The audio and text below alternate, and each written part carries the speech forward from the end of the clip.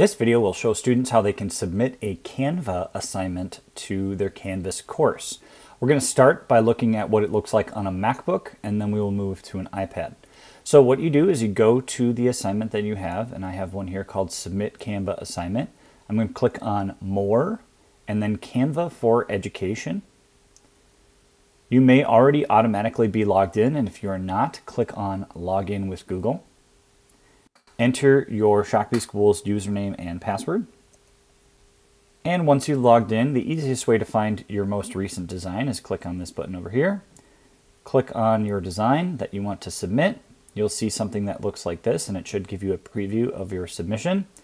And then click Submit Assignment. And that's it.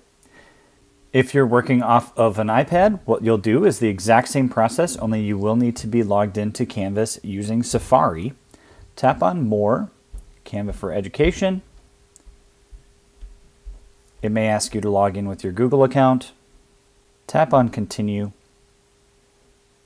And then you'll see all of your designs that you have here in Canva. Tap on Recent to show the ones that you've just edited. Tap on your submission that you want to turn in right now. You'll get a little preview window that shows you what it looks like and then also kind of shows you an editor window for Canva and then click on Submit. If your teachers give you any feedback, it will show up on the Canva app or on the Canva website. In order to submit it again, what I would do is add a comment so that your teacher gets a notification that you want them to look at it again because you do not need to submit it again. And that's it for submitting assignments from Canva to Canvas.